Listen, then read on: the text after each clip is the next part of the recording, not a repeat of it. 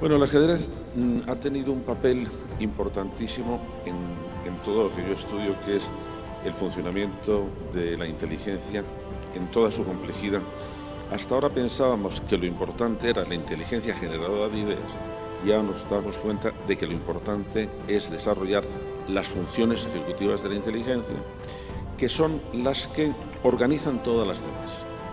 Cuando un docente a través del ajedrez o con el ajedrez ayuda a los alumnos a reflexionar sobre ¿y por qué has hecho esta jugada? ¿O por qué has perdido aquí? ¿O cuál ha sido tu equivocación? Está desarrollando una función, que esa es una función fundamental para el desarrollo de la inteligencia, que es la metacognición.